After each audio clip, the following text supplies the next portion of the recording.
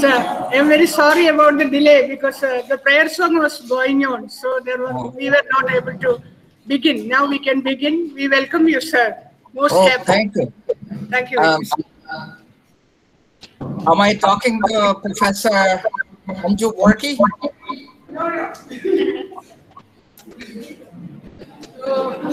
no, you were not talking to Anshu Varti. You were talking to Rosanna Davis. Hi, hi, Professor. Um, so, so I'm going to start. Um, please feel free to interrupt me.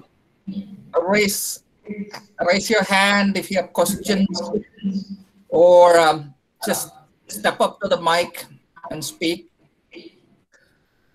Uh, I am going to present your syllabus. Is, can you all see your syllabus? Yes, sir. Okay. So looks like you are reading Shakespeare's Hamlet, Tempest, Henry IV, Part One, Marlowe's Dr. Faustus, Thomas Kyd, etc. Um, and I see Utopia.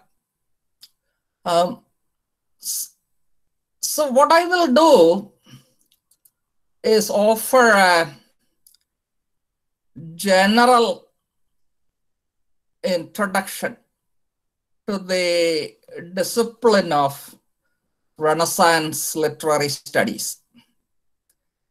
And as we progress, I will try to touch on as many of the uh, literary texts listed there. Um, I have not read uh, a number of them in recent years.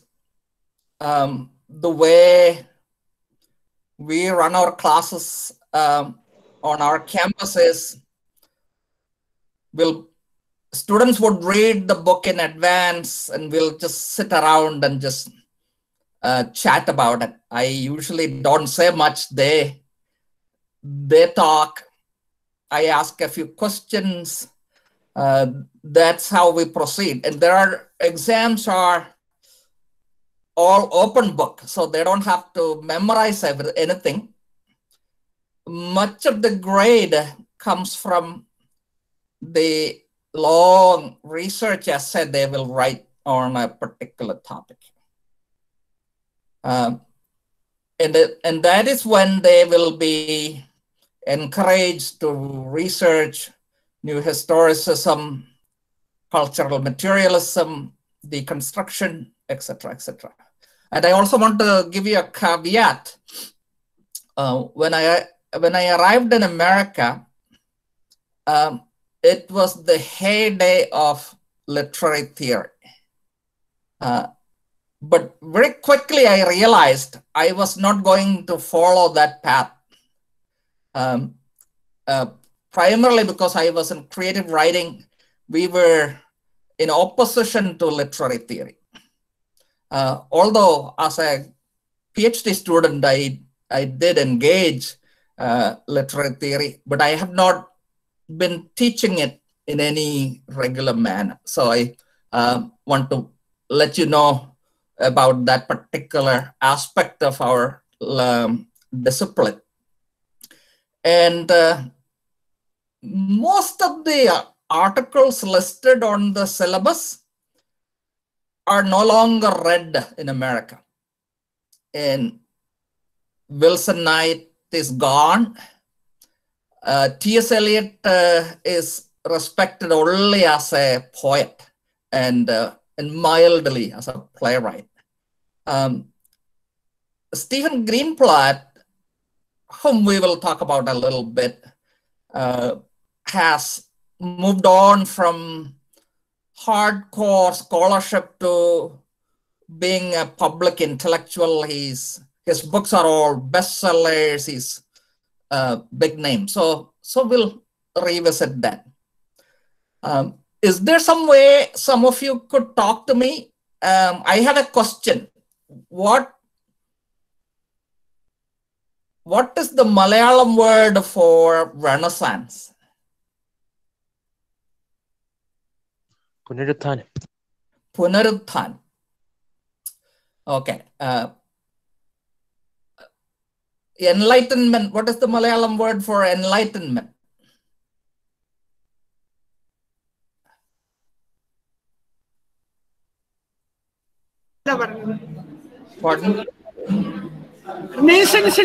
നവോത്ഥാനം എന്നാണ് പിള്ളേര് പറഞ്ഞത്. പുനരുത്ഥാനം എന്നല്ല പറഞ്ഞത്. Oh, okay, Navothanam. Okay, okay, very good, very good.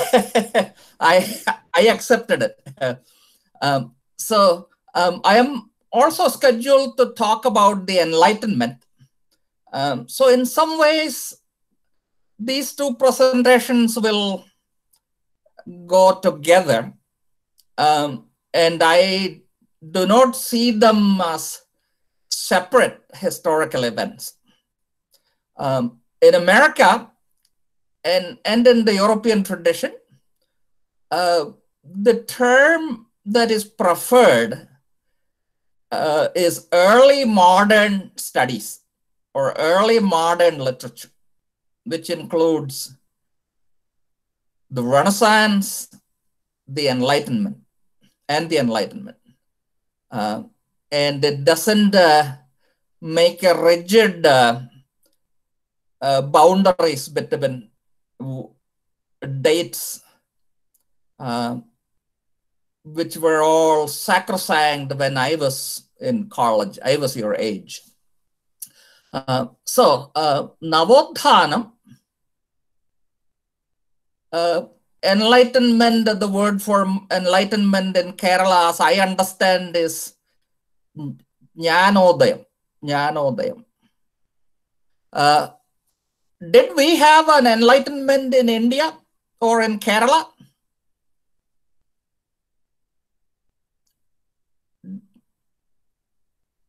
If if Renaissance is Navothanam, did we have a moment when suddenly we decided we have to be a different kind of people?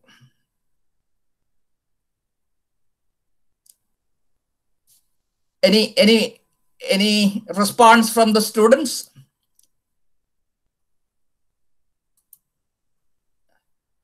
No.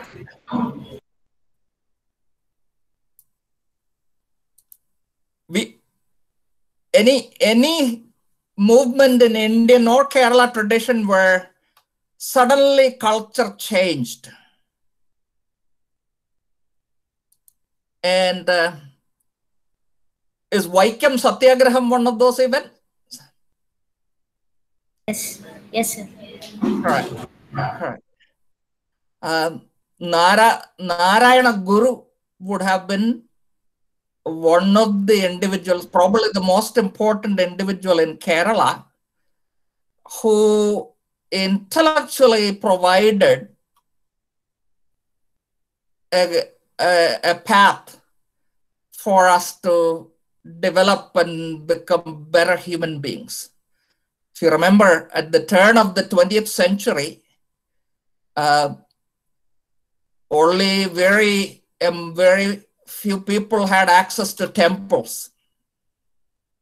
Um, and there was strict caste uh, demarcation, caste based oppression, um, and social economic op- oppression. So, so let's think about uh, the European Renaissance in that spirit. Um, by the way, uh, yeah, let me, this is a slide I made for you. English Renaissance literature or early modern literature. Um, if you're not familiar with the second term, uh, please take a note of it. Uh, as you can see below, all of those categories are, in a way, a march forward from the Greek tradition, which begins about 800 BC, to Roman tradition, which matures around uh, 300 BC, and then it turns into an empire, and it lasts in the West until the year 474. Sorry, 700, 476. Um, and uh, Roman Empire collapses. It is replaced by uh, the church. Christianity evolves around this period. And when Roman Empire falls, Christianity stands and goes on to create a new European culture for the next thousand years.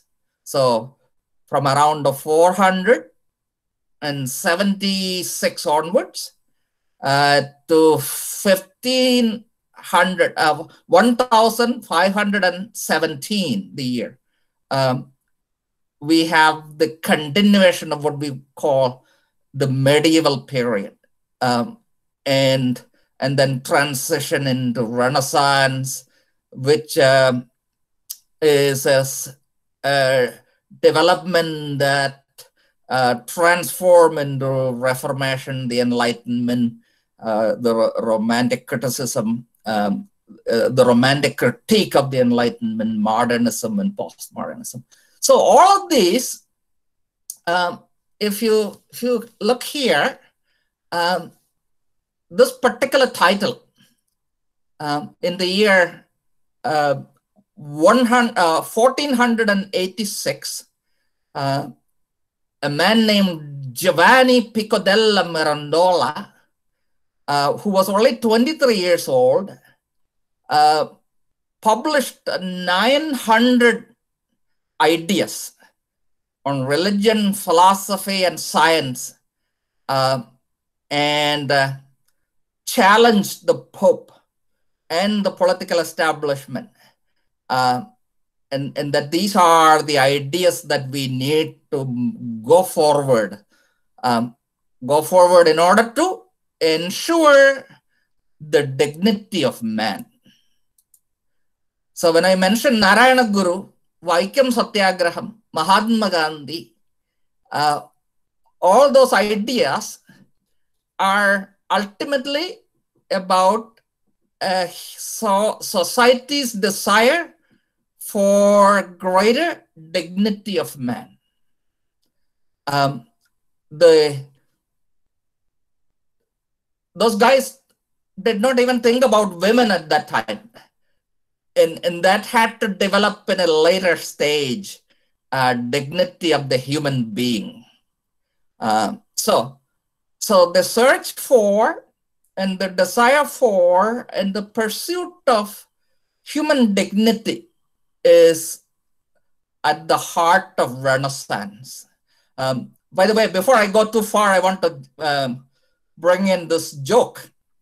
Um, in America, pretty much in every town, we celebrate uh, a Renaissance Day sometime in summer. Uh, people dress up as um, ladies and gentlemen uh, from the age of the Renaissance. Um, and uh, people dance, they sing uh, songs in the medieval, uh, in Middle English um, and French, etc. Um, um, the auditorium of our university is called a Renaissance Coliseum. Um, so I'm just mentioning it to uh, illustrate the extent of the influence this one uh, one word has renaissance and uh, uh, Navothanam, that idea of Navothanam, and the feeling that uh, we need something new, we need to do things better. Uh, or, in other words, we need greater dignity. Uh, so if you look at uh, that passage, by the way, uh, the Pope got very angry at uh, Pico della Mirandola. And, and he had to run away from, from town. And by the age of 31, he was dead, um, poisoned by who, who knows what, who. Uh, so, so asking for dignity is not an easy thing. Uh, not to give dignity is uh, convenient to those who are in power. Um, in your discussions of Foucault, New Historicism, cultural materialism, and all those terms, um, you would come across the term power. Uh, the so so we are um, so Renaissance is uh, an early wrestling with the powers that be in changing the system. Um, and one of the arguments in English departments uh, that led to the creation of cultural studies, etc., was that instead of just studying Shakespeare uh, and praising him and thinking him of as a thinking about him as a great genius, etc., um, students of English literature or students of language uh, should consider themselves as students of culture. Um, and uh, their knowledge, their education should, should benefit society and improve culture and ensure greater and greater sense of dignity for the human being. Not even just for a man, but dignity for man and woman, and also for the transgender and any, and also for animals. Uh, so uh, animals also deserve dignity. So this kind of larger engagement engagement with the with power is right there in the first few paragraphs of Pico della Mirandola. So, uh, are you able to read it there? Yes, sir. Yes. Okay, so we have made you a creature, neither of heaven nor of earth, neither mortal nor immortal. Uh, so, who is we? Who made you a creature? Who made all human beings? Right? Who is saying this? Um, keep thinking, keep thinking. I'll come to that. Uh, so we have made you a creature. Uh, we have made you an animal, basically. Uh, neither of heaven nor of earth, neither mortal nor immortal. So even in the, those two first two clauses, you can see a revolution there. That revolution, instead of God saying, I made you a creature, it is God's saying, the gods of the ancient classical world, the Greece and Rome, they are saying, We have made you a creature in order that you may, as the free and proud shaper of your own being. Um, so, Renaissance, um, you may remember one of the essays you have to read is from Stephen Greenblatt Renaissance Self Fashioning. Um, see where that title may have come from. Proud shaper of your own being, fashion yourself in the form you may prefer. Um, uh, so how do you do that? It will be in your power to descend to the lower, brutish forms of life. You will be able, through your own decision, to, ad- to ascend again to superior orders whose life is divine. So um, remember, uh, you said uh, Renaissance is Navodhanam. A Navodhanam of what? Uh, Navodhanam, I'm going to skip a couple of slides. Um, so uh, if I, I, I trust that you are able to see this very dense list of Navodhanam that took place. Can you, are you able to read it? Yes, sir. Yes, yes. Yes. Um, it, I know it's a little too much, uh, but I will keep coming back to it. But I just wanted to uh, pay attention here. Uh,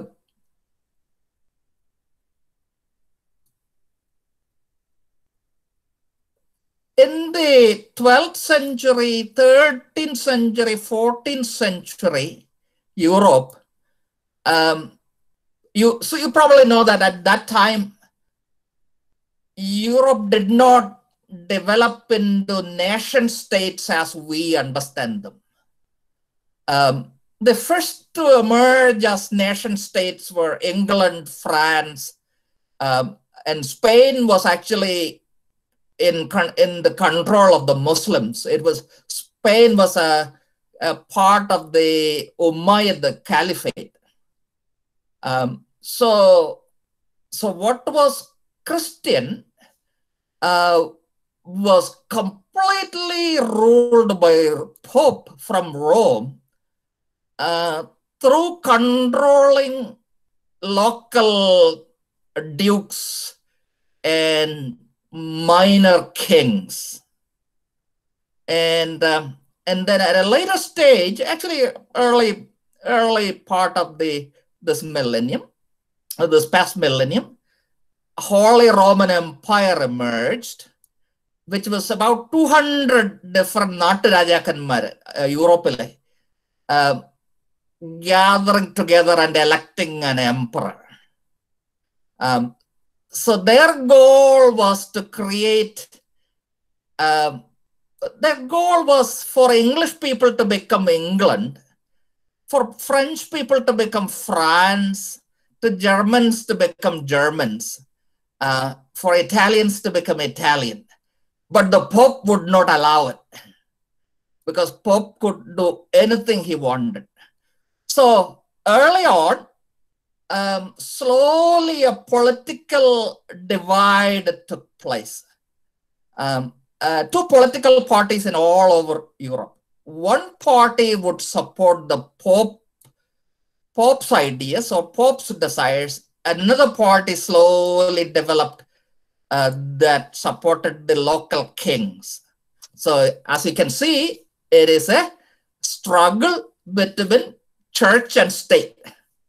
Uh, the state is not completely in place. Uh, so this struggle is one of the political factors at the heart of the Renaissance. Um, so, so if you are a local king, you don't want the Pope to tax you and and give you commands and uh, send a bishop to you to control you. Um, so the the local king started to elect local bishops. So that's where the struggle started.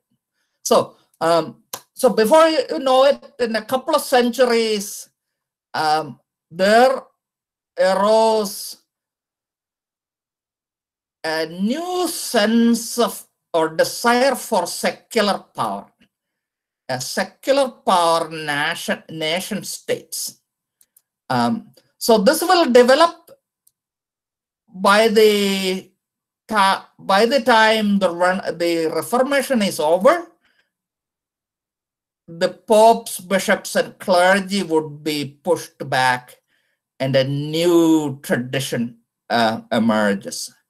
Um, and the old uh, pope control, the scholastic philosophy pushed back, new philosophy emerges, and out of that new philosophy emerges science, mathematics, uh, rational thinking. Um, and the same kind of uh, phenomenon took place in social organization. Um, by the way, even at that time, 1% of rich people controlled 99% of the land and wealth. Uh, so, so dukes, aristocrats, feudal system, um, they practically held everybody, every individual as a slave, even if not a name. Um, so this is this is the the socio-political trajectory.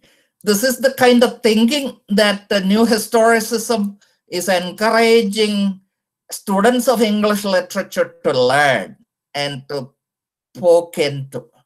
Um, and and where did all of this come from? Um, again, the, the idea of Navothanam. Um, as part of this pushback, uh, early Renaissance thinkers started to reject uh, scholastic philosophy, everything that was supported by Pope, etc.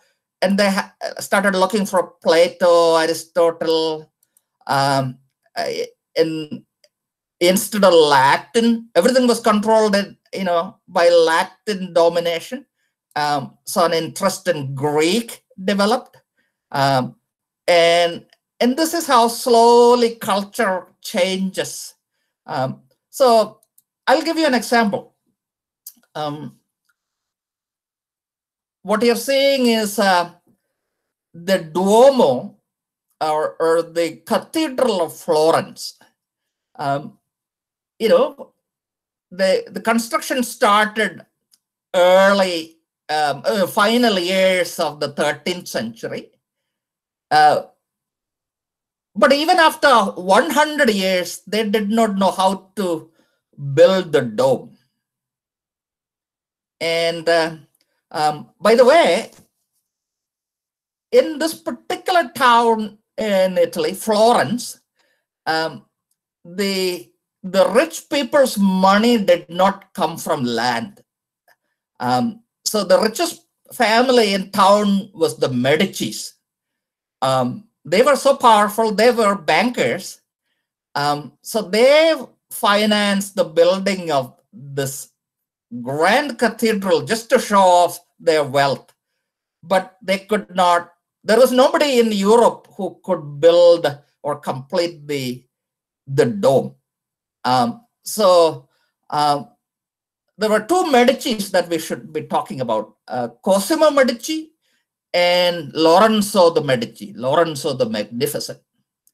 Um, at the time of Cosimo de' Medici, a man named Filippo Brunelleschi said, I can build the dome.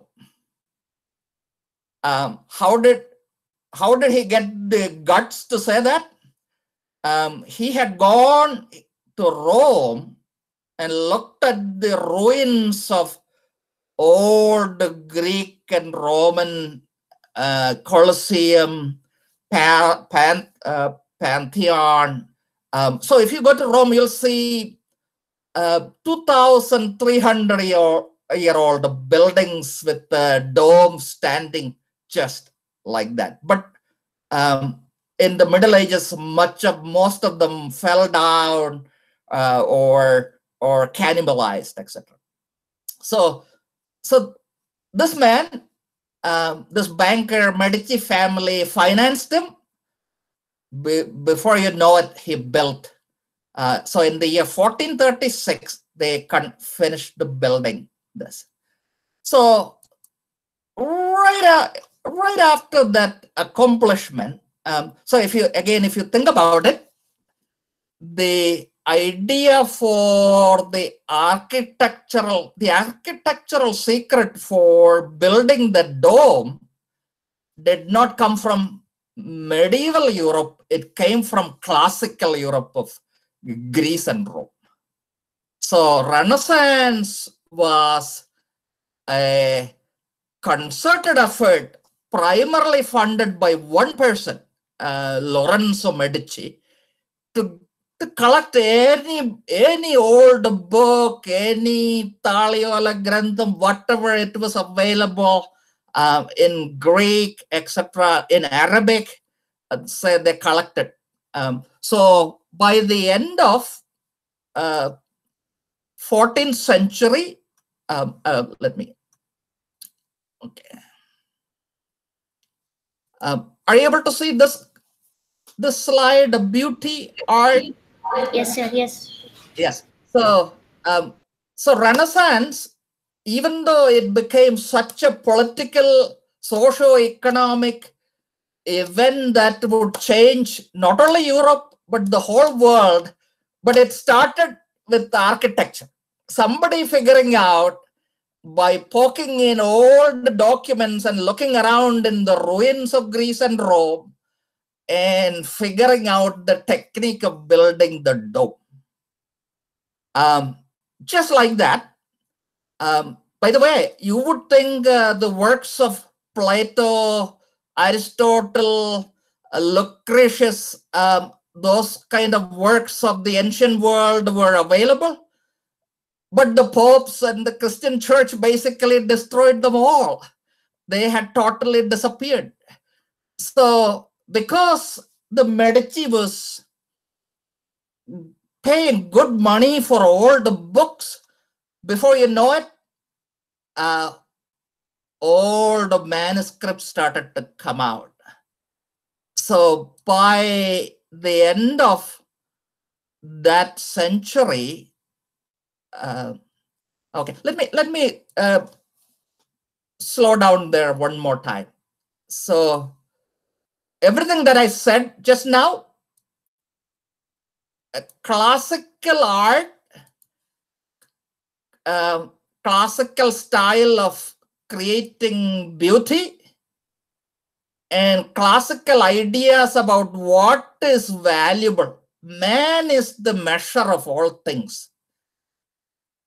That is Protagoras, who lived before uh, Socrates. Plato has written a book called Protagoras. Can you imagine in the Christian age, somebody saying man is the measure of all things, right? They would say God is the measure of all things. So, so, so classical ideas, the big classical ideas, man is the measure of all things, um, slowly started to percolate, um, and you may know that for the first 300 years, Christianity did not even use art. Um, it, uh, remember the Ten Commandments do not worship idols, uh, do not worship graven images. Uh, so, only after the year 400, 430, that the Christianity starts to develop uh, um, images of Jesus, say, and then for the next hundred years, uh, Christ becomes a work of art.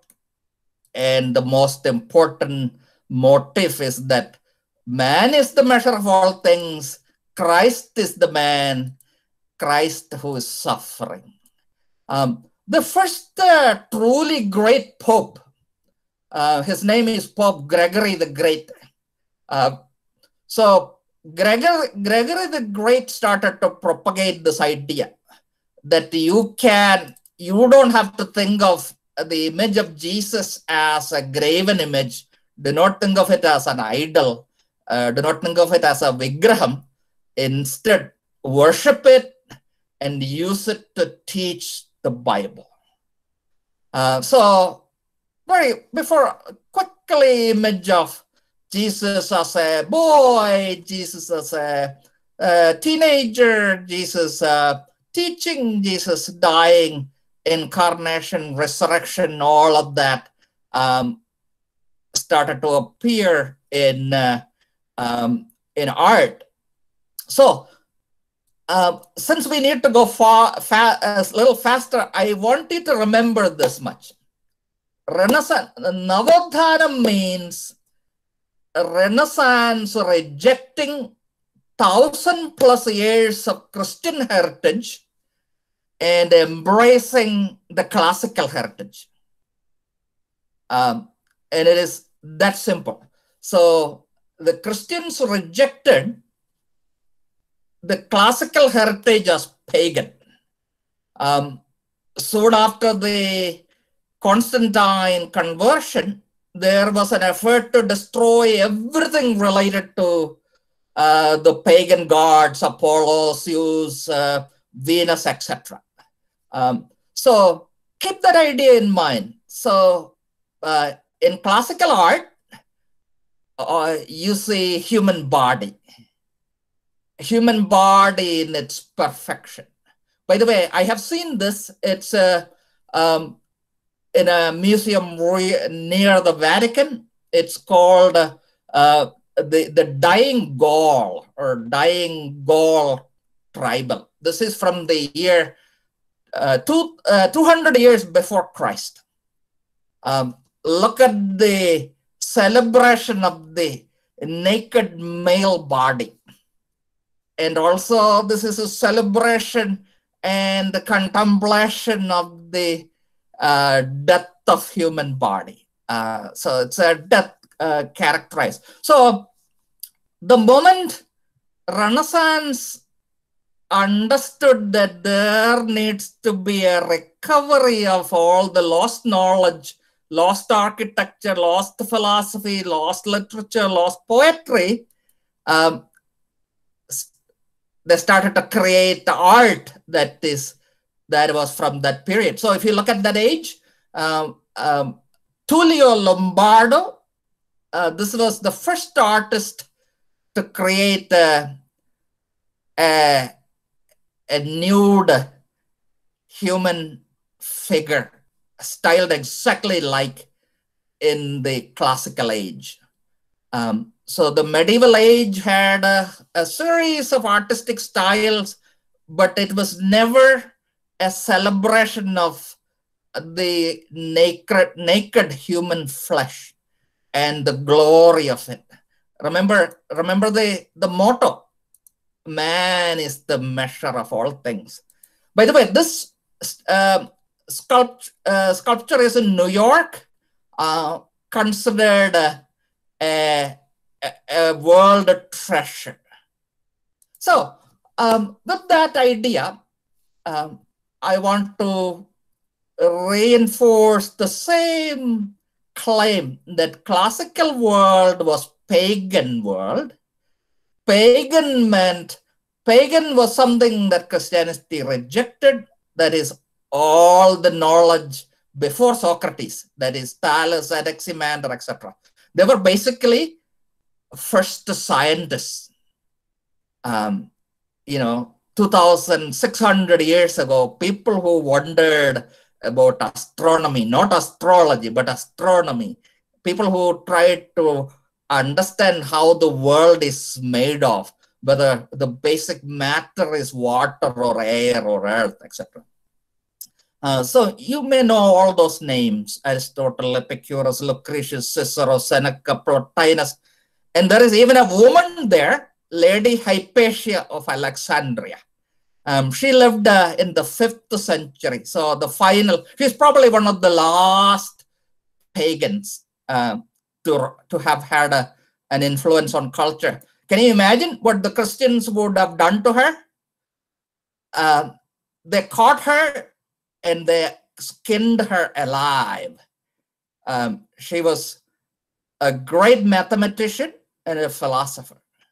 So, so in that sense, um, this is not publicly announced in this manner. Uh, Christianity rises, Rome falls, and then Europe is repopulated.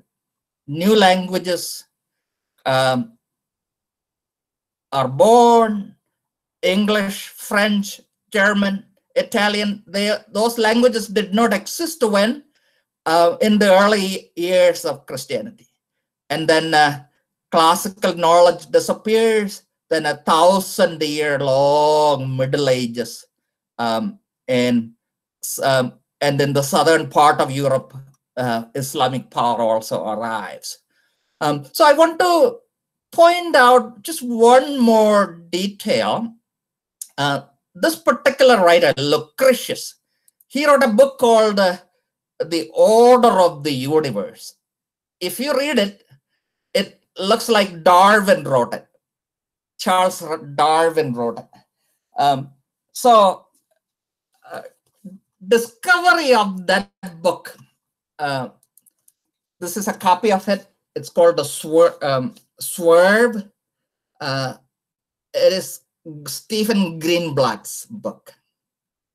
Um, this whole book is about how a man named Poggio Bracciolini uh, found a copy of um, a book by Lucretius, which contained uh, basics of all the knowledge about the nature, physics, uh, biology, etc. at that time. So, what was his uh, basic idea? Uh, it was not his own idea, it was the idea of that tradition that the world is not made of water or earth or air, world made of atoms. Um, and, and the smallest particle, the, the uncuttable.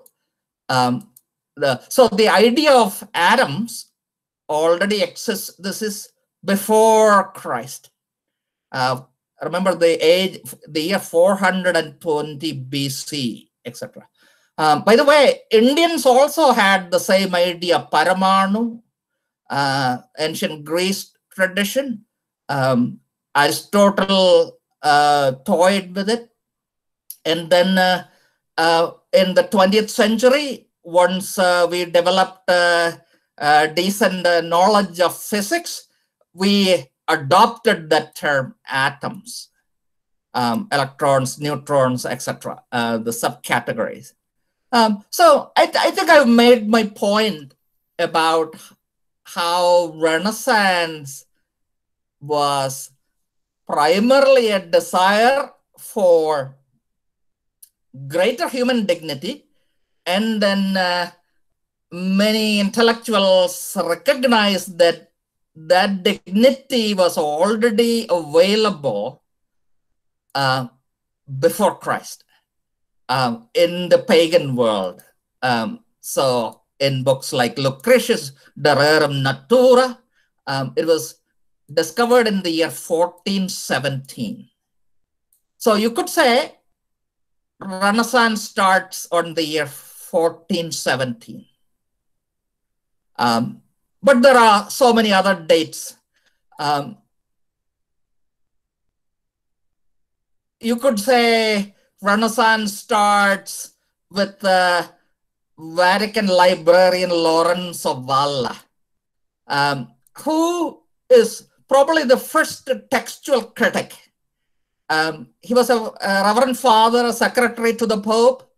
Um, he analyzed the documents. There was a document called uh, Donation of Constantine. Um, and the claim was Const Roman Emperor Constantine gave all of Europe as a donation to the church, and the, it was church's property. Nobody has a question, uh, right to question it. So uh, this priest uh, read the language, analyzed the linguistics of it, um, the rhetoric of it, and he decided it was not written in the year four in fourth century. It was written in the eighth century. Um, and that was actually one of the first breakthroughs. So, uh, discovery of uh, De Rerum Natura, the idea of the world made up of atoms, and discovery of Aristotle's Poetics. You would all think uh, everybody had a copy of Aristotle's Poetics. Uh, actually, the Arabs had a copy or many copies, and one of those copies landed around that uh, that time. Um, so I'm going to run a, a, little farther a cosmology and the big topic. We may come back to it. I want to introduce you to the next major phase of the Renaissance. Uh, this is Francesco Petrarch. Um, Petrarch, uh, you could say Renaissance starts with the Petrarch. Uh, so how could that be? Uh, look at the date. Father of humanism, father of Renaissance, progenitor of the sonnet, first tourist, first to have claimed, uh, to have climbed, sorry, uh, scaled Mount Ventoux, the first to say Dark Ages, first to recover the classical works of Greece and Rome. Um, so you can say in one person, everything that we have been talking about and everything we are going to talk, um, especially in the context of Shakespeare, uh, Marlowe, etc. So, father of humanism. Remember that phrase? Man is the measure of all things. Uh, and uh, um, he went on a mountain, he climbed a mountain. Uh, you and I have all climbed Kurishmala, right? Um, you have a lot of people would climb Kurishmala with a and, and do it as a spiritual work. But uh, Petrarch climbed just for the sake of it. Uh, so it is said that the moment uh, Petrarch climbed the mountain and came down from it, that moment Renaissance started, a rediscovery of the inner world. Not the ascent of Ventoux, but it is with the descent uh, that the Renaissance begins. Okay, so so how does all this material, how do uh, you know fit into our discussion? Um,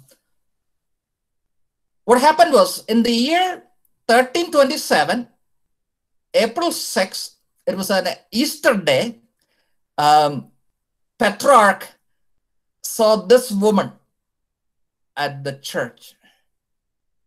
Um, and he started to worship her. Um, if you are a Christian in the Middle Ages, you don't worship a woman. You worship only Virgin Mary. Um, so Petrarch, he saw her only a, a, couple of times, and the the following year, um, actually exactly on the same date, she died. So a man, a human being named Petrarch, who has been reading all the classical poets and philosophers, who had been thinking that um, everything that uh, the that Europe accomplished in the last thousand years was kind of primitive, um, suddenly found uh, a secular Virgin Mary in a married woman named Laura, uh, and who died also. So, so he started writing poems. Um, he wrote 366 poems, all addressed to Laura, all describing his suffering in the name of Laura. Um, this is Petrarch's uh, sonnet number 132. Uh, by the way, I have to add one more detail. Um, you will be studying the literature of the me uh, medieval English literature in another class. And, and if you look at all the writings before the Renaissance, you will see long poems, a lot of them boring stuff about uh, heroes and, and kings and, um, and spirits, etc. Um, you will rarely see poem about private love, poem about what we call in Kerala college campuses premam. Um, so this is the first uh, pure human devotion to beauty uh, created by a poet who just radically breaks with the past. Um, and, and in a human being, by the way, this is exactly the reason Mona Lisa is adored.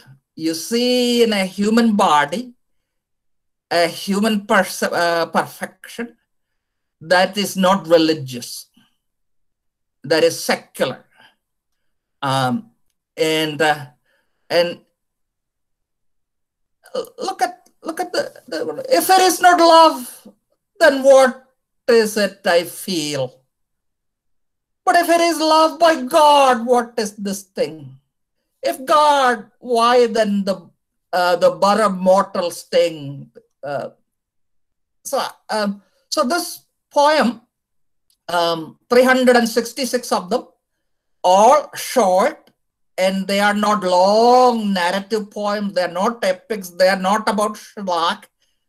They are called the lyric, lyric poetry. Um, if you remember the list of things that changed, great Renaissance transitions from medieval Christian art back to classical art and architecture, um, from epic, heroic, mythical, theological poems to lyric, lyric poetry, a tiny little private song, try, tiny little secular prayer, um, tiny little prayer Malay kind of each of them. Uh, and also drama. Uh, the Greek drama, you know, Aeschylus, Euripides, uh, uh, etc., Sophocles, right? And uh, you also know Latin drama, Plautus, Seneca, uh, etc. So, so the great dramatic tradition of Greece and Rome also died out in the Middle Ages. Uh, so Renaissance brought back lyric poetry and and drama. Drama that was dead suddenly comes alive. And then eventually after, um, later in the 18th century we have the novel. Uh, so i am pretty sure you have a sense of how broad based this simple desire for change and human dignity and acknowledgement of what is in the heart. Um, uh, one of the great ideas of this particular age is Plato's Symposium um, and uh, a new philosophy that develops called uh, Neoplatonism. Um, and the idea is that you have an obligation to climb the ladder. Remember uh, the oration on the dignity of man. You have the option of becoming an animal and descending or becoming a great human being and ascending the ladder. Um, so, uh, so the, the image of ladder of love became crucial in uh, all the language and artistic traditions of Europe. Um, and pretty much everywhere, uh, intellectuals forward looking individuals started to write poems uh, imitating Petrarch, um, imitating often an imaginary Laura. Um, so, uh, if, if you remember this particular detail, in England alone, uh, we have രണ്ട് ലക്ഷം sonnets have survived from this period. So, so it was a massive cultural transformation. Um, and the very first uh, individual in England to uh, remember, England is part of Northern Europe. All these changes took place in Southern Europe, primarily in Italy, because the Medici family was unique and they had so much money and they wanted to show off. So they uh, collected good books and they gathered uh, intellectuals uh, and artists like uh, Ghiberti, Brunelleschi, Michelangelo, Titian, Titian, Vasari, all the Raphael, Botticelli, uh, uh, Da Vinci, all these people gathered there and they found uh, an audience in Italy. But in England, as early as uh, late 14th century, Geoffrey Chaucer translated Petrarch. uh, 132, sonnet 132. Um, uh, it's beautiful, beautiful translation, but it is not English that we understand. This is Middle English. Um, Middle English will change into modern English in the year, roughly in the year 1485 onwards, maybe 1500 onwards. Um, and, and you may have studied in linguistics class that uh, something called a great uh, vowel shift, uh, shift took place and the English pronunciation changed and grammar changed. Uh, so, um, so by the final years of 14th century, um, even Chaucer translated it, but it didn't click. Um, in Malayalam, I myself translated the same uh, sonnet uh, just for your enjoyment. Um, it goes like this. This is the poem, Petrarch Sonnet 132. If it is not love, then what is it I feel? I translated it like this. പ്രേമം എന്നൊന്നില്ലേ? പിന്നെ എന്താണ് എനിക്ക് ഇത്ര ഉന്മാദം? അതോ അത് കാമദേവനാണോ? അവൻ എവിടെ പ്രേമം നന്മയാണെങ്കിൽ പിന്നെ എന്താണ് എനിക്ക് ഇത്ര വേദന? തിന്മയാണെങ്കിൽ പ്രേമത്തിന് എന്താണ് ഇത്ര രുചി? സ്വമനസാ നീറുന്ന ഞാൻ എന്തു പരിഭവം പറയാൻ ഇച്ഛയ്ക്ക് വിപരീതമെങ്കിൽ എന്തിന് ഞാൻ വ്യാകുലപ്പെടണം? ഓ എന്തൊരു ജീവൻ മരണം എന്തു സുഖമുള്ള ദുഃഖം ഈ പ്രേമം. കാമദേവ നിനക്കെന്നെ മെരുക്കാൻ കഴിയില്ല. വഴങ്ങിയ ഞാൻ കുഴങ്ങി എതിർക്കാറ്റുകളിൽ അടിച്ചു മുങ്ങുന്ന ഈ കപ്പലിൽ ഞാൻ കൊടുങ്ങി. അറിവില്ലായ്മ മാത്രം ചുമക്കുന്ന ഞാൻ വേനലിൽ വിറകൊള്ളുന്നു ശൈത്യത്തിൽ കത്തിജ്വലിക്കുന്നു. സോ റണസയൻസ് മലയാളത്തിൽ വന്നപ്പോൾ അങ്ങനെ എത്തി four Petrarch was widely followed everywhere, as I mentioned. In England, modern English literature is basically a food, uh, an engagement with Petrarch, engagement with Petrarch's poetry. So, uh, Sir Thomas Wyatt, uh, Henry Howard, Earl of Surrey, Sir Edmund Spenser, uh, Philip Sidney, and of course, uh, William Shakespeare. Um, sequence uh, about the secular holy Laura. Um, that was also the very first, one of the first printed books. By the way, uh, books started printed, uh, printed books started to come out in the year 1455 onwards. By the year 5, 1500, um, all over Europe, there were a thousand printers. Um, so, so the world suddenly changed uh, for culture. Um, and uh, every copy of Plato, Aristotle, Lucretius that uh, the Medici family had, they had it translated into Italian and into Latin, etc. And uh, so those books became available. Um, so, so no wonder in England, uh, Sir Philip Sidney wrote a um, sonnet sequence, Astrophil and Stella, uh, Wyatt and Surrey. Um, these, these two guys were the most important uh, literary figures of modern English literature. The first, um, and they started off by translating Petrarch. Um, Hundred years prior to that, uh, Chaucer had tried to do it, but it didn't click. England was still in the Middle Ages. But uh, when these two guys, um, they traveled to Europe, um, they both of them worked as um, diplomats for Henry VIII, Henry VII, and Henry VIII, um, and and both of them were greatly endangered because of the nearness to this very tempestuous political rule. Um, actually, Surrey was beheaded for um, um, accused of uh, treason, and Wyatt himself was in jail. Wyatt was also a relative of Anne, Anne Boleyn.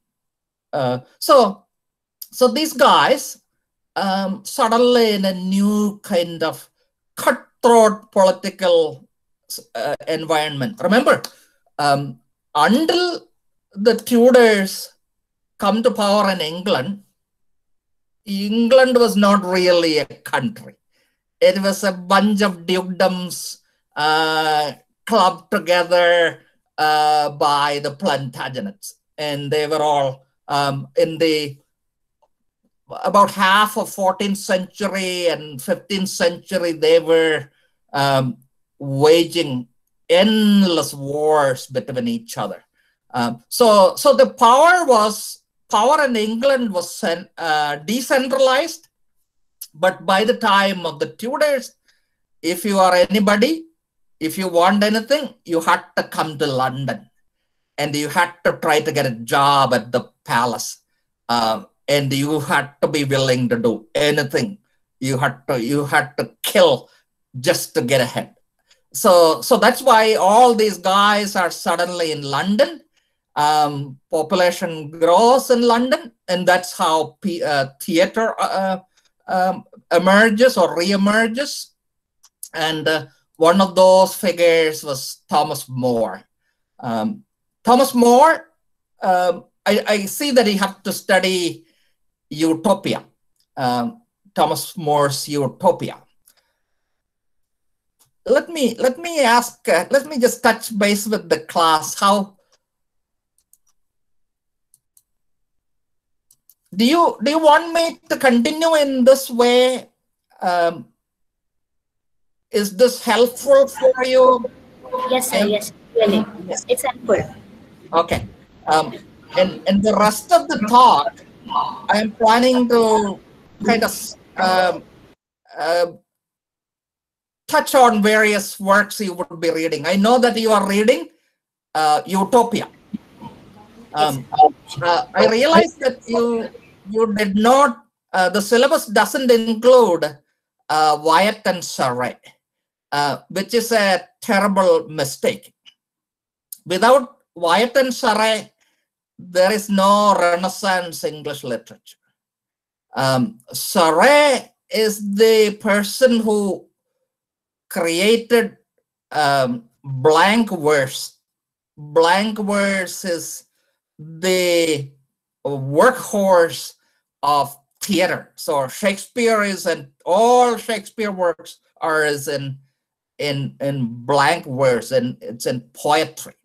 Um, and uh, and and both Wyatt and Surrey in themselves uh, contain another major Renaissance philosophical idea, which is pastoralism.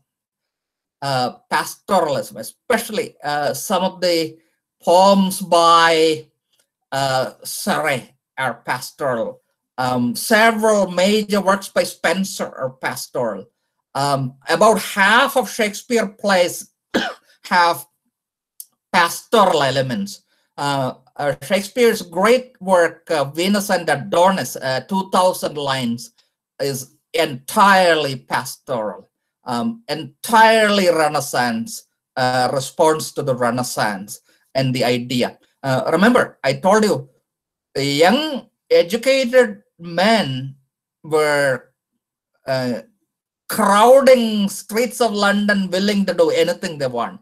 And you could be killed, you could lose your head um, and you and you were uh, asked to go and kill others, um, etc. For in the interest of this new thing called a nation state, England as a nation. Uh, France also becomes a nation, uh, pretty much uh, in intact. Uh, but Italy, in Italy, that doesn't happen, and uh, um, in in Germany, that doesn't happen. Um, so so a lot of problems are there, and um, I will revisit some of those as we um, we consider some of the literary works, uh, Utopia. Um, remember, the works of Greece and Rome are are being revived. So can you can anybody tell me what utopia is? What is what Greek work is underlying utopia? One particular Greek work, um, Plato's Republic. Um, Plato imagined how how to rule society, how to organize uh, society for happiness and pursuit of happiness, for equality, justice, for the dignity of the human being. Uh, so Plato had an elaborate framework, uh, forgive me, framework for that. And uh, right at the start of the medieval age, when suddenly Christian institutions found themselves in charge of the Roman Empire, they also started thinking about how to organize society. Uh, um, that was The City of God by Saint Augustine. Um, Saint Augustine wrote five million words uh, on that question, how to run a society. Um, so um, in Renaissance, Thomas More wrote Utopia as you as the Republic.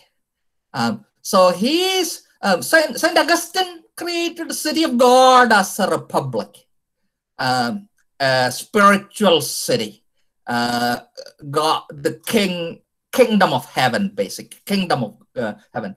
Uh, but uh, for Thomas More, utopia is pastoral. Uh, utopia is a, a running away from from the city. Uh, utopia is actually a return to paradise. Um, so um, you will see that theme in uh, Milton's Paradise Lost. Greenblatt has written a new book about the, the importance of that one idea that human beings were evicted from paradise for uh, one particular sin.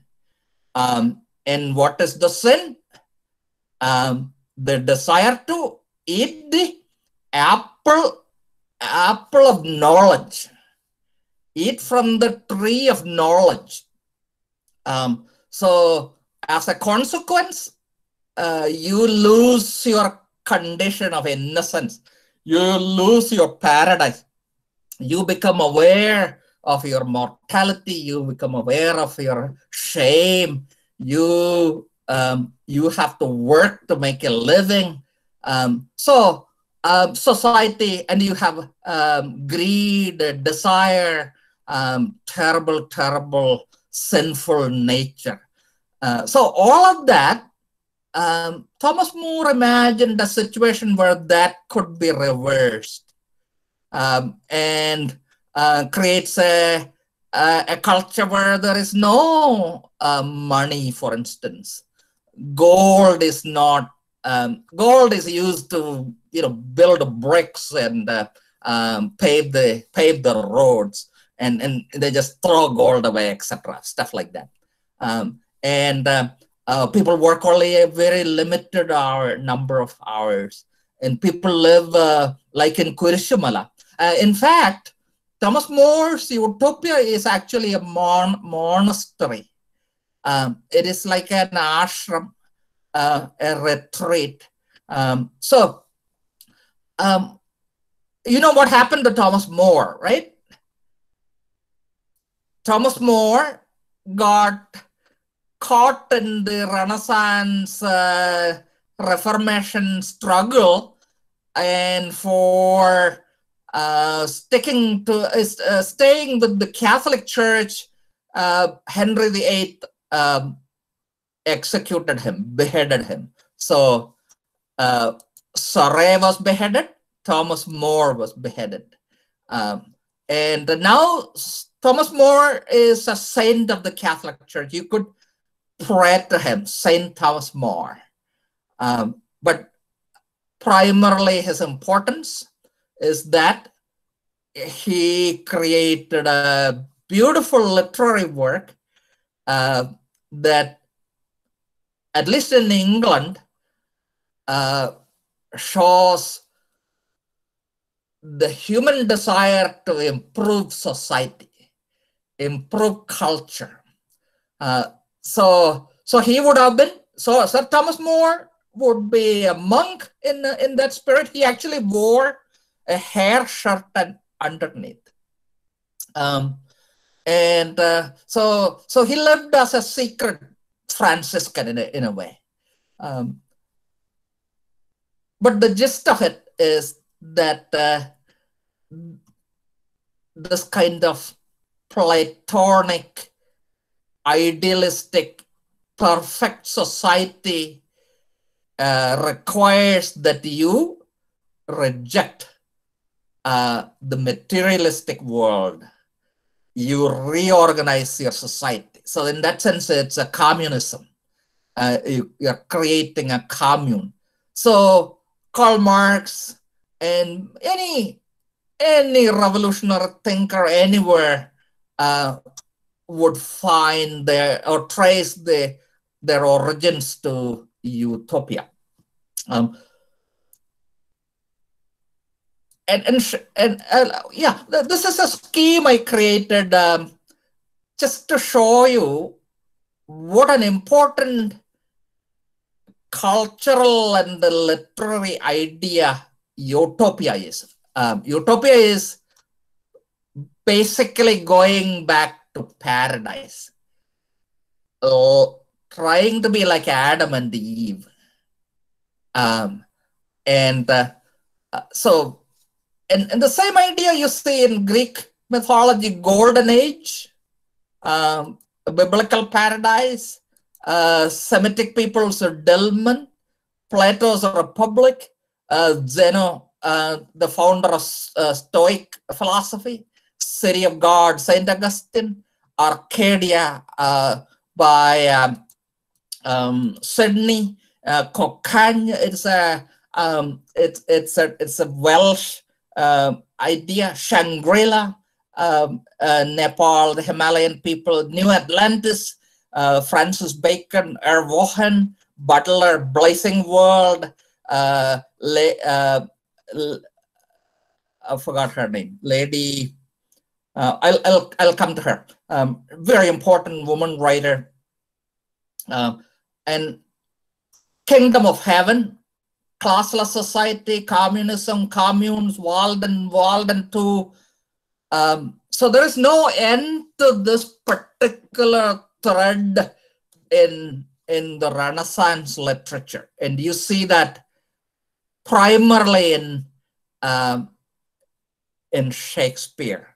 Um, since we don't have a, since you're not studying uh, Wyatt, I don't want to spend any time on it. Um, uh, you can just see how important both of these guys were because every Petrarch poem these writers translated into English and then when they ran out of poems to translate, they started their own poems. Um, so the literary form of sonnet instead of a large uh, 300, 600, uh, Faerie Queene is 600 plus pages long.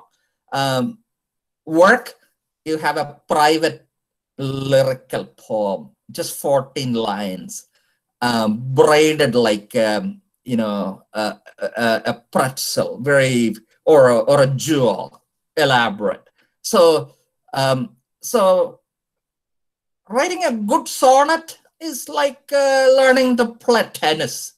Um, you can run around with a racket uh, anywhere, but you uh, playing with an opponent, with a net, and with the the court marked with boundaries and being able to hit uh, in the proper way, that is not a small thing. So for Renaissance um, individuals, um, this was a kind of personal perfection. Um, you know, Machiavelli's The Prince, right? Another early political treatise of the Renaissance that uh, taught a ruler how to prepare himself to be a ruler. Um, his key idea is that a ruler uh, must be able to uh, to be feared. You should make your uh, uh, subjects fear you instead of love you. Um, love is easy, fear is better. Um, don't pay any attention to religion, but you just pretend that you are very religious. Um, you have only one obligation to run your nation, to, uh, to care for the welfare, the real welfare of your individual. Even when you are uh, at a party or picnic, a prince will have to be looking around and see where the army can be placed, etc. So elaborate. And uh, a prince will have to be a fox and a lion at the same time, etc. Um, so this kind of um, self-fashioning ideas and books started to come out. Um, uh, Machiavelli arrived in England very clearly, the prince. Uh, but even more importantly, the other book uh, called The Courtier by Baldassare Castiglione. Um, it uh, told, uh, it instructed uh, ordinary individuals, educated individuals about how to prepare themselves to, to be a good courtier, which means um, be an in, a good intellectual leader, um, how you can help the prince, etc. Um, Thomas Hoby translated uh, Castiglione's Courtier into English. So that is one of the major books uh, that would uh, influence all these writers we have been uh, talking about. Uh, so Seneca is the other, uh, probably the most important single name to remember in uh, in terms of the Renaissance is Seneca, um, who was born in the year 4 BC. Um, that was the year Jesus was born, 4 BC. And, and he died in the year 65. Actually, he was Emperor Nero's prime minister and teacher. He was Emperor Nero's professor. Um, Nero got upset with him one day and Nero ordered Seneca to commit suicide. Uh, Seneca went into a bathtub, filled the bathtub, and cut his uh, veins open and bled to death. Um, so that is Seneca. Seneca was arguably the most important playwright and philosopher of the first century. Uh, so he's a contemporary of Jesus. He worked for several Roman emperors. He died in a terrible way, terrible way. But all his works survived. All his letters uh, you can buy. Um, and so preeminent Roman author to reappear in Renaissance. Uh, when Shakespeare was a, a young man arriving in London, um, he must have bought a copy of 10 plays by Seneca. Uh, so Seneca has uh, this ultimate pagan philosopher writer, uh, was revered by Christians. Uh, and there is even a, a forged letter uh, uh, St. Paul wrote, St. Paul's letter to Seneca.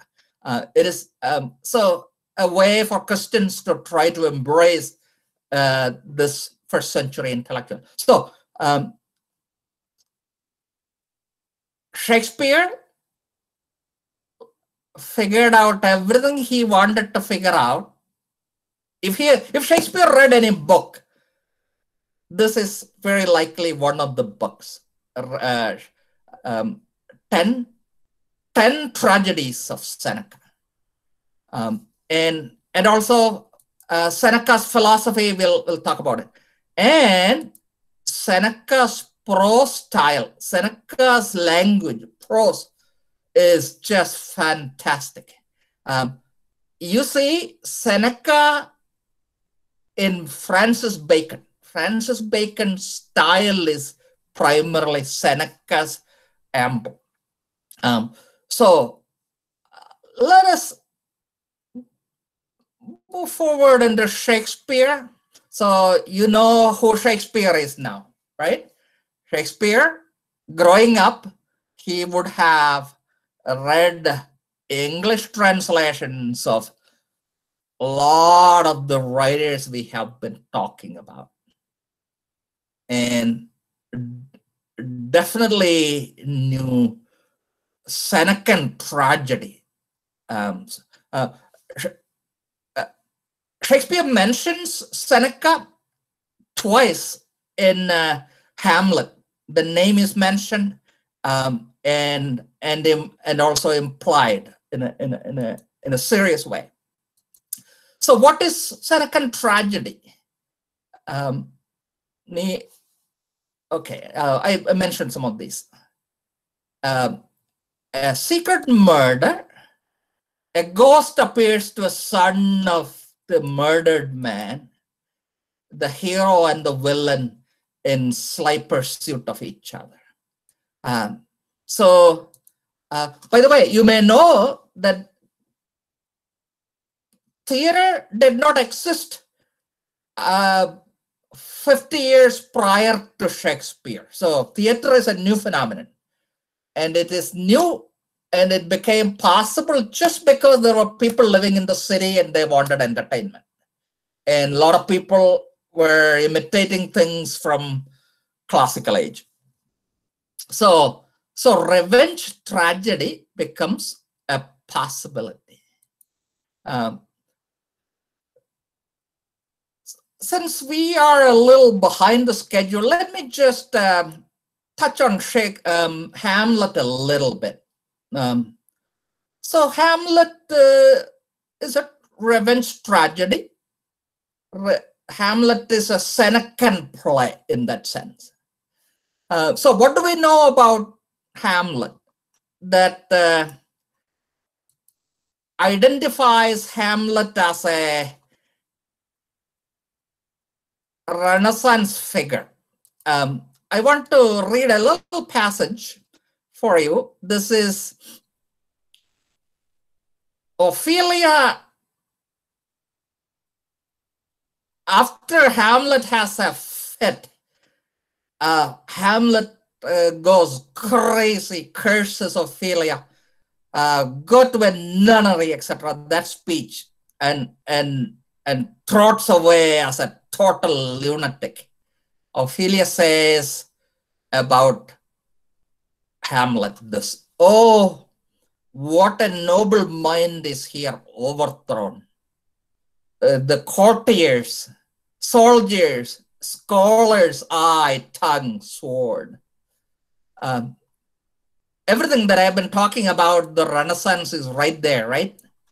How to be a courtier, how to be a soldier, how to be a scholar, uh, how to be able to see, speak, uh, fight, um, how the expect, expectancy and rose of the fair state, how to be a, a, a prince or a, a, ruler or a, um, a diplomat, the glass of fashion and the mold of form. As uh, remember the self-fashioning idea, um, the ultimate individual, um, uh, an individual worthy of being imitated, of the observed of all observers, quiet, quiet down. So look at this man who is the observed of all observers. Uh, and I, of ladies, most dejected, wretched, uh, the suck the honey of his music vows, etc., etc. How horrible it is. So here you have a picture of what a Renaissance man is um, and how Ophelia understands her love for um, Hamlet as not just the love of anybody, but uh, uh, a courtier, a man who climbed the ladder of love. That's how she must have understood it. Um, so so do you remember where Hamlet came from to attend the funeral of his father or to mourn for his father? Do you remember the name of the city? Wittenberg. Wittenberg. Very good. What is the connection to Renaissance and Wittenberg? Dr. Faustus was there. Correct. So two of the plays are connected to the University of Wittenberg, exactly where Martin Luther in the year 1517, that is 500 and um, three, four years, 504 years ago, uh, Martin Luther posted 95 theses. Um, we talked about uh, della Mirandola's 900 theses. Um, so, so here is very definite connection to Renaissance. Um, so, how old is Hamlet? Do you remember? Later in the play, we figure out that Hamlet is 30 years old. Um, if you're a 30 year old man, if you're still hanging around in college, and if you're still acting in plays and not coming home um, to rule and take over power, if in his absence, uncle takes the power and kills dad, etc. So, so you have a picture of uh, Hamlet's priorities.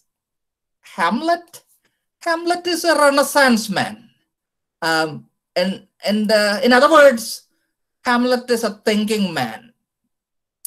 Uh, if you are a thinking man, will you commit revenge? Will you murder a person? That is uh, the problem.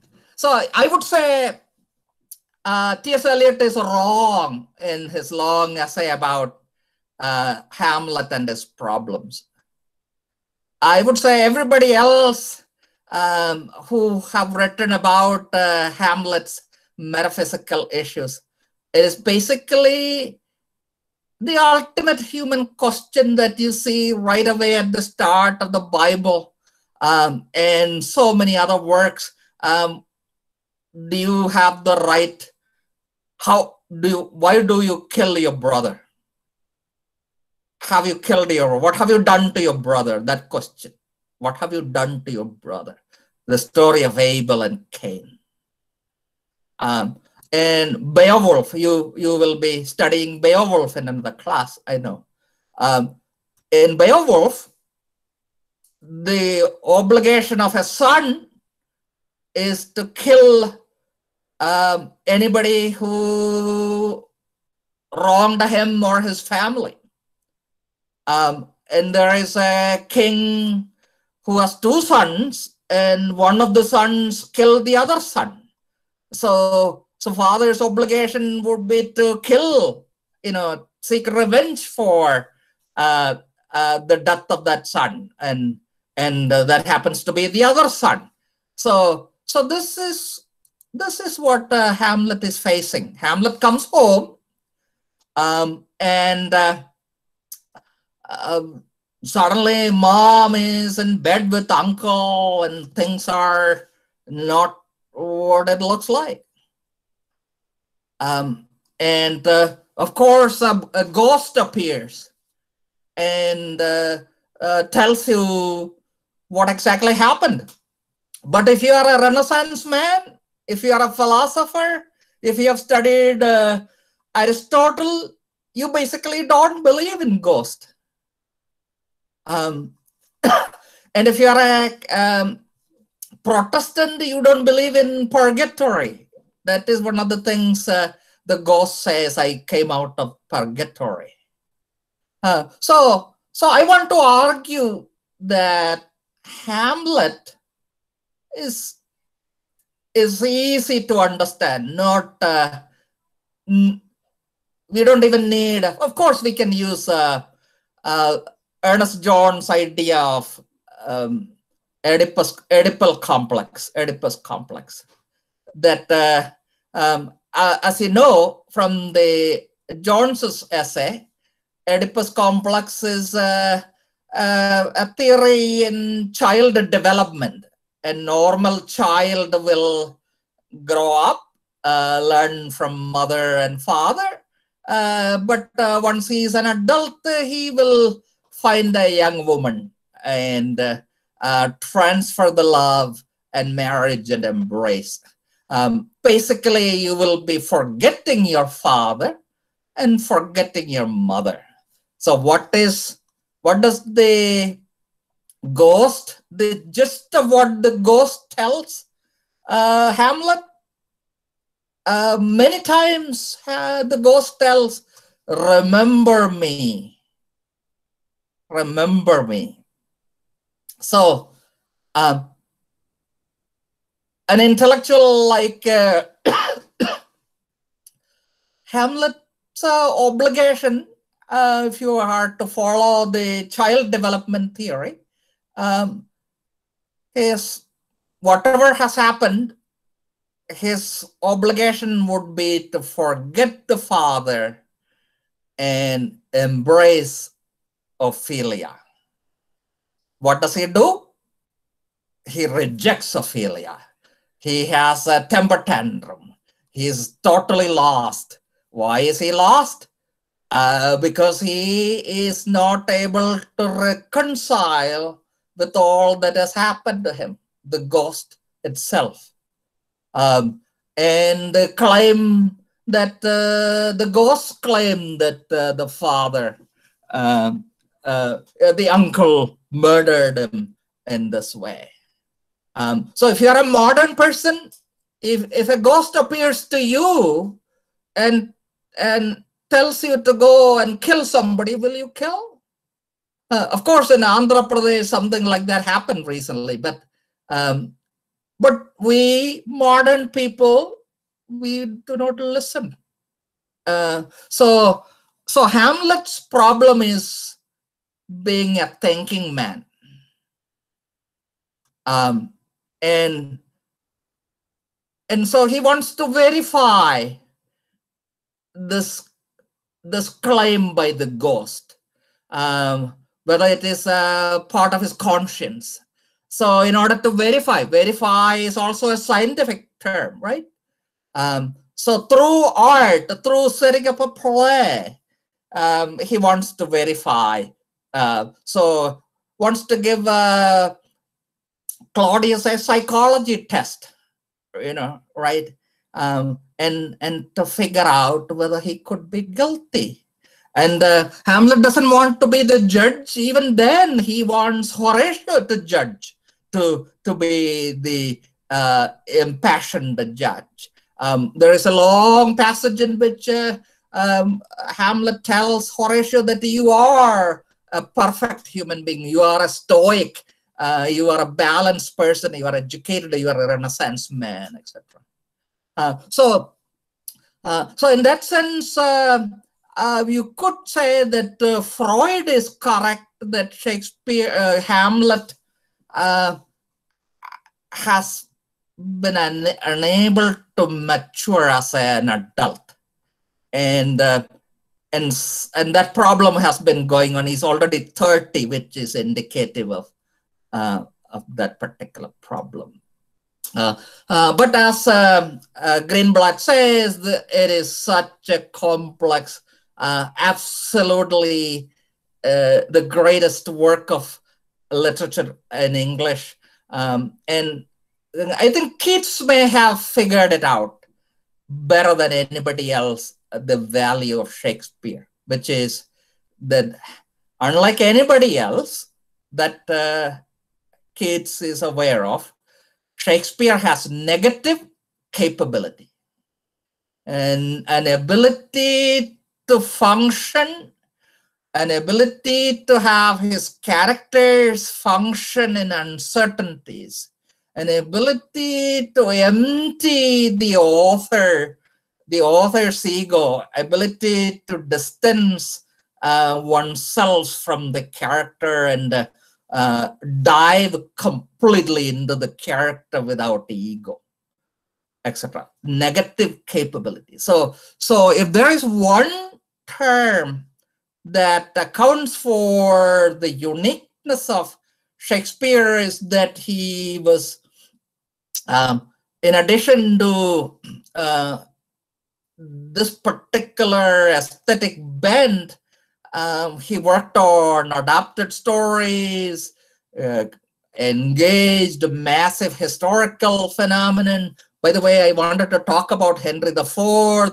uh, Marlowe, etc. We don't have a lot of time. Uh, but about Hamlet, I want to say it is easier to understand Hamlet's crisis if you understand Renaissance. And, and, and that is how new historicists, thinkers, and feminists and uh, um, psychological critics have analyzed Hamlet and Shakespeare's work in general. A word about Christopher Marlowe. Um, have you finished studying Dr. Faustus? No, sir, no. Okay. Um, this is another fantastic example of a renaissance, Dr. Faustus. Um, the idea of, or the, the idea of selling your soul to the devil. Um, what did uh, Dr. Faustus gain by selling the soul? Why did he decide to sell the soul? Um, let us look at what all he rejected. Rejected logic, medicine, law, Bible, um, all the Christian virtues, faith, hope, charity. And he wanted uh, something different, a greater power. Um, and you and I know the word for it forbidden knowledge. What uh, what did uh, Adam and Eve help themselves to? Forbidden knowledge. What was the forbidden knowledge uh, Prometheus got? Right? Um, so um, I'll, I'll give you a clue about um, some of the first moves Dr. Faustus makes up after he sells his soul. Um, the first uh, thing he wants to uh, get is get married, right? Um, and, and of course, that's a joke. Um, after that, he wants a book on astronomy. Can you imagine?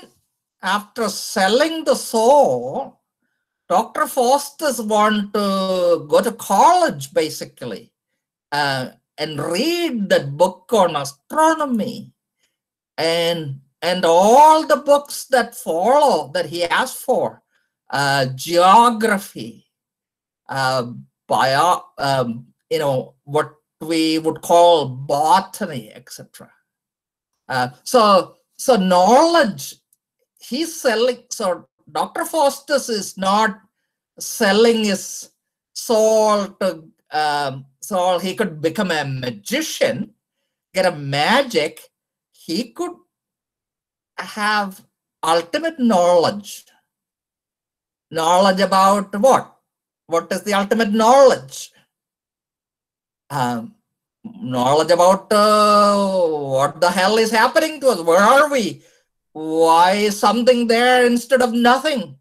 What is the meaning of life etc um, and uh, so early clues about this is available if you look closely at the good angel and the bad angel.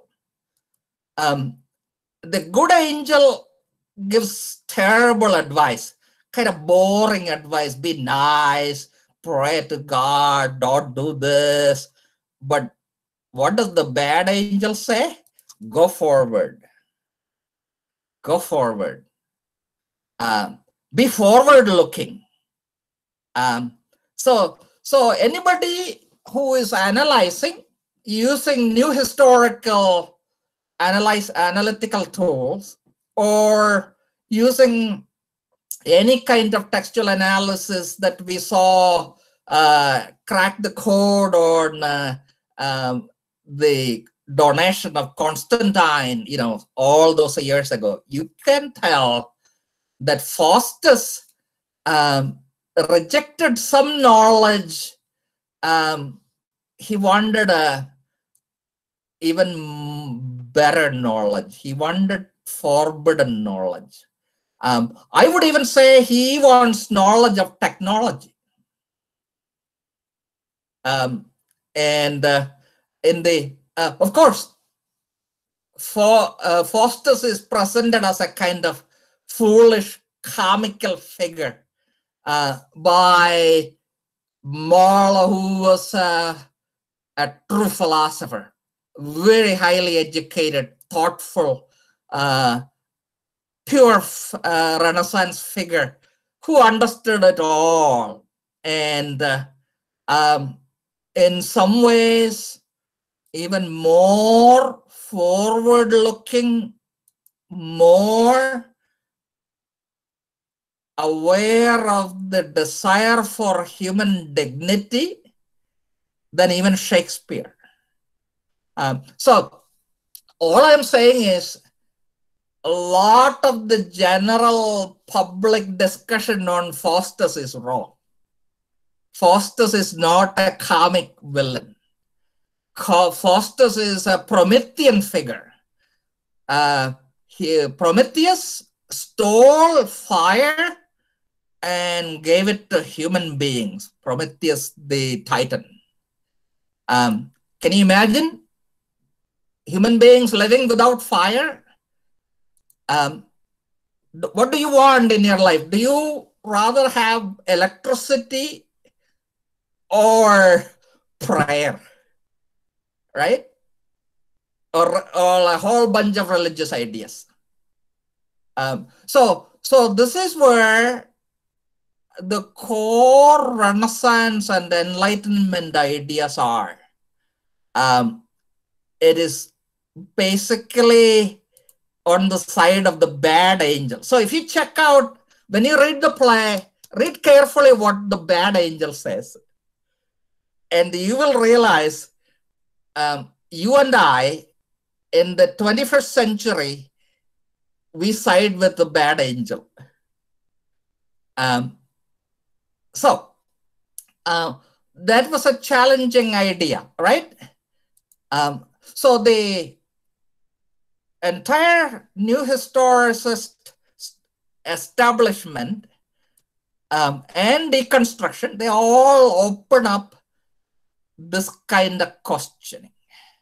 Um, since we haven't uh, uh, talked about Henry IV part one, um, I know you'll be reading it. Um, that is that is one of the best historical plays ever. Um, anybody's. And that is the play in which you have Falstaff. Um, Falstaff is actually Shakespeare. Uh, Falstaff is also uh, Socrates. Um, in fact, um, uh, Prince Hal basically calls him a misleader of youth, uh, Falstaff, um, the great comic figure. Um, so, what what is the importance of Henry IV, Part One? It tells you the story of how. Remember, remember my long discussion about how in Europe, uh, local political powers, not Rajakanmar, they wanted to be free of religion or religious control or pope's control and they wanted to create a secular government uh, secular nationalism. England, France, and uh, Italy only comes into being only in the 19th century. Germany also uh, did not come together, etc. So um, that phenomenon you see in Henry IV in the final years. Um, it is actually the middle of Hundred Years' War, um, and you may remember that uh, um, England, um, the the Plantagenets who ruled England at the time, um, Middle Ages, beginning in the year six, uh, 1066 onwards, um, and beginning with Henry II, or, sorry, Henry II, uh, who married uh, a French queen. England pretty much owned about half of France also, uh, and dukedoms. So, so the English started to say France is mine, and the French local king started to push back, and uh, they went to war that lasted hundred years. Um, you know, Joan of Arc. Um, that uh, the Joan of Arc event happened in the final years of that. Uh, so all of that comes to an end in the year 1485, um, and the Tudor dynasty begins. And you could say at that time, the Middle Ages end, and modern age begins. English uh, Renaissance age begins um, very quickly in the year 1517. Martin Luther 1536, um, Henry breaks with the church and declares um, himself the Pope of English Church. Um, and before you know it, um, Protestant revolution has taken place. Europe has split into two, church split into two, and, and they would fight for 30 years. The Catholic supportive kings of Northern Europe and uh, um, uh, the Protestant support of kings. Um, and, and that particular event comes to a close in the year 1649. Um, so, so Renaissance, in a way, uh, matures into a split in the church. Um, and one way of thinking about uh, Reformation and Protestant Revolution was basically a rejection of religion itself. Um, of course, they turn into churches, they create new churches, but basic issue there was uh, Luther and Calvin saying that we don't need religion, we have the Bible we know how to read it, we know how to interpret it, and they start educating everybody. By the end of the Renaissance period, 60% of English people could read. Um, and, and the rest is history.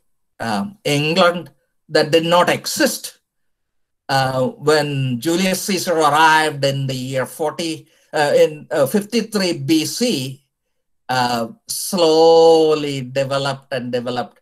The watershed event was um, splitting from Europe, splitting from papal power, and enabling itself uh, to develop uh, according to individual conscience. Um, and you know, in the year 1611, um, English Bible was published, King James Bible. Until then, it was illegal for anybody to translate the Bible or even own a Bible. Um, John Wycliffe, who translated the Bible, he was a contemporary of Chaucer. Uh, he his body was dug up and hung when it was learned that he had tried to translate the Bible. William Tyndale, who translated much of uh, the um, King James Bible, uh, was arrested and strangled to death. Uh, so all of these events um, were part of this grand struggle for the dignity, for human dignity. Um, and human dignity were, that was denied and monopolized by various kinds of feudal and religious powers and and science and and all kind of accomplishments of the um, of antiquity uh, disappeared and then that reappeared and creates a new culture. Um, in the process middle class a middle class comes into existence. Um, and people start to travel uh, colonization begins business begins everything that uh, utopia would have cautioned against. Um, so so the opposite of all this phenomenon is pastoralism and which is uh, a very important thread. Um, i just realized that i have only reached halfway into the talk and we don't have any more time left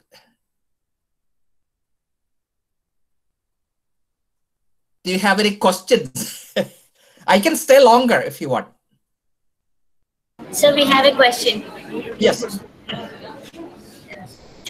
Sir, I want to ask you one question. The question is, do you mean to say that Oedipus complex is only a phase in the development of a child's psychology? Yes if you are a normal if you are a normal child you would have overcome it and and then you would have embraced ophelia and there would not have been a problem. Um, see against whom hamlet turns. Hamlet is brutal toward ophelia. She did nothing wrong except that her father said return all the love letters pretend that you don't like her like him right? And and uh, the first two acts of um, hamlet reveals that this place is rotten. Father is giving terrible kind kind of advice to children. Father is sending a spy to check on the son. And father and the king are spying on the daughter returning the love letters to the to hamlet. So uh, uh, the latest philosophical insight about uh, why hamlet ends up this way is that the the moment he returns the moment he sees what has happened to Ophelia, what has happened to his mother, he realized something in himself that there is no love. I cannot love. And and that that horror uh, of a thinking man.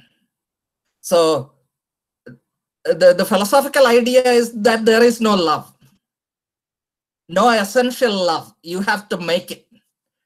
You have to create it. Um, in Hamlet, there is no opportunity for it.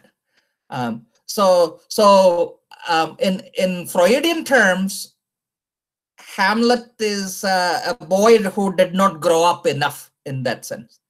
Um, he um, he did not overcome. He could did not mature as a young man it would have been so easy for him to reject the ghost. He said, Remember me, which means if he were a mature, healthy young man, he would say, No, thank you. I I have other things to do. Uh, Ophelia, let's go. Uh, let's go play. Let's embrace. Let's kiss. What is your opinion about Ernest Jones' essay? Ernest Jones, do you agree with what Ernest Jones says? He's basically saying this particular idea, right? Yeah, this he's building up uh, this claim about uh, recognizing his Oedipal violence uh, in himself, which uh, paralyzes him into killing uh, Claudius. Because what Claudius did to his brother, Hamlet wanted to do to his own father. Yes. Right. Yeah. Uh, yeah. But but uh, that that that is a valid claim, and uh, to build if you build on that, you can see that it is a crisis of love. In fact, Wilson Knight, Wilson Knight's essay comes closer to this view that uh, uh, the the metaphysic, Shakespearean metaphysic, Shakespearean metaphysic is that uh, we have uh, a disgust for ourselves because of our awareness of what we are capable of. Um, just look at Othello, Macbeth, etc. And and uh, Wilson Knight also relates that to to the terror of love. Um, it's a it it's a flip side of the coin, that same coin. Love, uh, hatred, self-hatred, and the evil, metaphysical evil, or or the mystery of human evil, uh, or human capability to do terrible things, um, that frustrates him. So so that that I can live with. I can see that idea. Sir, we had two more topics, the metaphysical poets and improvisation of power. Yes. And Uh, then the, the metaphysical poets and also the improvisation of power in Othello. That was one of the questions. yeah it is a that essay is a very sophisticated complicated argument the basic argument is the which is part of my claim that it is during the renaissance an educated even an educated individual for the first time began to feel that the self uh, the individual has any value. Um, in india until the turn of the 20th century i bet if you are not a sovereign you did not have uh, any right to think of a value for you. If you have to keep a distance, if you cannot go to a temple, you cannot touch, uh, etc. Uh, so, so the argument was that in the Renaissance, uh, they were able to fashion themselves. But do you remember my other detail that? Uh, there was a kind of rat race among the educated, the knights like uh, you know Wyatt and Surrey and Sidney, and all you know jostling for power, and and and being subdued by power, the power politics, and playing by that rule. Um, so the so there is an accusation that Shakespeare played by that power, played by their rule, whereas Marlowe did not. Thomas More did not, etc. Uh, Wyatt did, etc. Uh, so in in Desdemona, Greenblatt says, whatever happens to Desdemona, that was hap- what happened to every every self that tried to fashion. You know, that was not very good. Uh, so it was a rude awakening, that essay. Very serious, very detailed analysis. Um, and and and so so the title gives you the clue improvisation of power. Eh, You you you try to survive in a terrible situation. This is actually a consequence of the new nationalism. Um, and then slowly democracy will have to develop. That is what you're going to see in the Enlightenment era. These are two terms I have not been able to understand. One is improvisation and the other is uh, self-fashioning. Self-fashioning, um, same idea that uh, you have the ability to educate yourself and become become a, a respected individual by your own work um, by writing sonnet by secretly loving uh, beauty. In its uh, essential ideal. By thinking thinking prohibited thoughts forbidden pursuing forbidden knowledge. So uh, so self-fashioning is the claim that you could be that and in chapter 6 greenblatt is saying that it was not that easy. It was also submission. And in in the story of desdemona you saw that what happened to her and and the, so you were all desdemona. If you tried to fashion yourself completely it was uh, in a way not possible. Uh, so self-fashioning would become possible only with the democracy with uh, thomas hobbes and and locke and kant and others. Uh, but there was an awareness of it We say that uh, Faustus was self-fashioning, fashioning himself. He was Yes. uh, yeah that's a good way to think about it faustus i would i would say faustus is the first chemist first astronomer first real astronomer before there was a serious science and uh, so it was misunderstood so faustus was misunderstood um, and so the final moment of the torture and suffering in some theaters when they show it they they show it in a heroic way so so he was not a villain Yeah, do you, one last question, sir, before we go. do you think uh, knowledge is to be forbidden? Forbidden knowledge. um, because the knowledge is frightening. Um, but uh, the powers the power tries to forbid it. Right? So in the biblical story why was it forbidden? Two things were forbidden right? The tree of knowledge and the tree of life.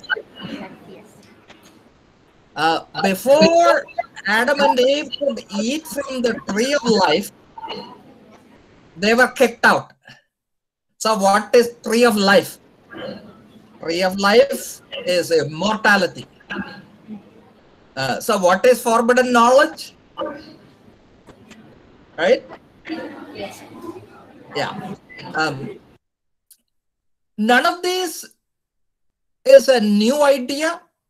You see variations of the same struggle in classical literature, in the Bible, and English literature. Um, and this is the, the forbidden knowledge is actually the awareness that we will die and we are mortal. And, and that's what uh, they figure out. Um, so, do you? I, I have no idea whether uh, what all I have been saying was useful. It Um, is very useful, sir. Yes. Um, if anybody has a question, just email me. I have written notes about a lot of these topics. Um, I can send a copy of it Sure, or more articles to read. Um, are the students asking any questions?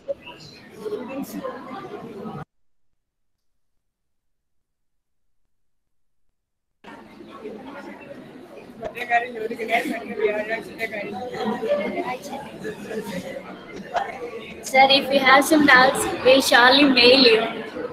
We Oh, please, please, please. Okay, sir. Yes. Uh, uh, your your professors would have my email address, so feel free to mail. Okay, sir. Sure, sir. Sir, it was in fact, you know, a nice journey because beginning from Giovanni Pico della, Mirandola, and covering all the aspects of Renaissance, it was like a journey back into the Renaissance period, in fact. And uh, we have, you know, a different outlook or a different, we, uh, we gained a different perspective about uh, various authors whom we were, uh, we were dealing uh, in detail. So it was like a thought giving or a point to think more and more. It was really interesting, sir. Thank you so much for being with us. And I heard that you would like to meet our head of the department, Ms. Anju Worki. She is here Yes. with us and she want to converse with you, sir. Right now. Okay, thank you.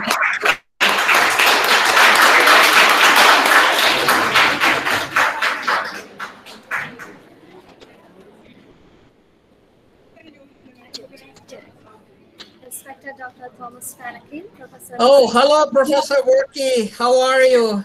I'm fine, sir. Thank you. Nice to meet you, sir. Um, so, what should what should I do for the Enlightenment lecture?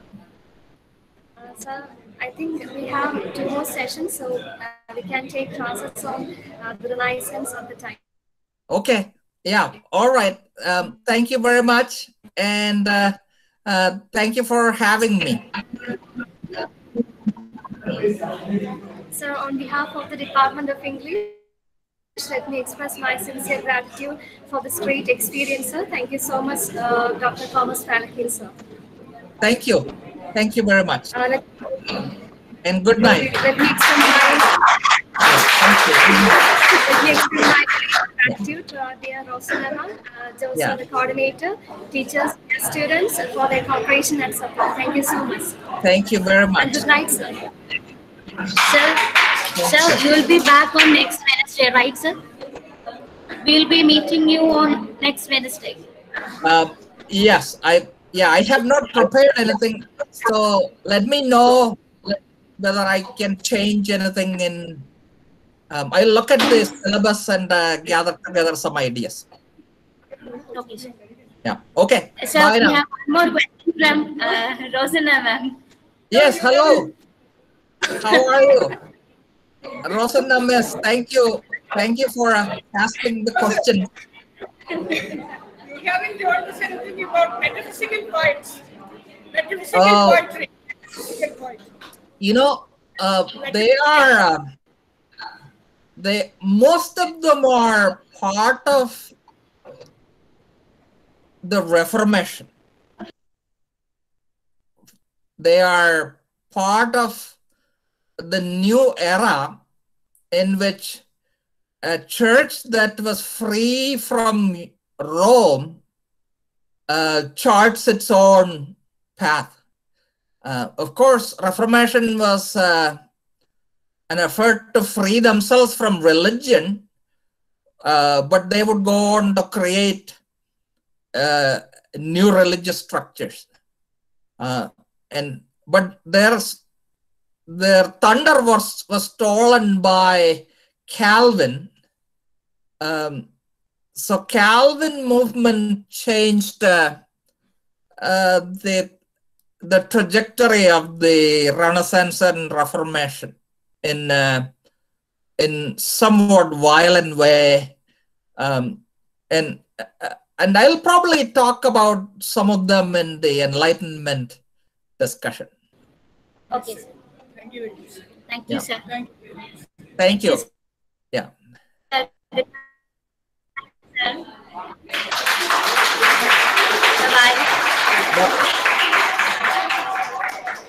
Bye, Rosanna Miss.